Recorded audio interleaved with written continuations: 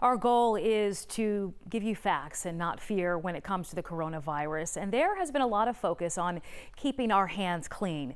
This morning, our Verify team is digging into a claim that we, we may all be using hand sanitizer wrong. There seems to be a lot of confusion and fixation on hand sanitizer. People are buying a lot of it. We even talked about claims you can make your own. That's true, by the way, but more complicated than it sounds. Now we're looking at this list of hand sanitizer tips sent to us from a viewer. Five tips for using it correctly.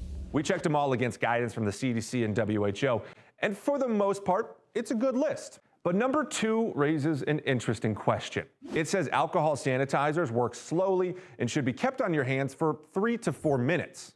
That doesn't add up. The CDC says it should take about 20 seconds of rubbing your hands together for hand sanitizer to dry up. See, sanitizer uses alcohol to kill most bacteria and destroy most viruses. Alcohol dries up quickly, and that means you'd have to use a lot of sanitizer to keep your hands wet for three whole minutes. So this part of the claim is false. Remember, the CDC says hand sanitizer can be helpful, but it should only be used if soap is unavailable. The number one way to keep your hands clean and prevent the spread of germs is to wash them with soap and water. If you see more claims like this, send us an email.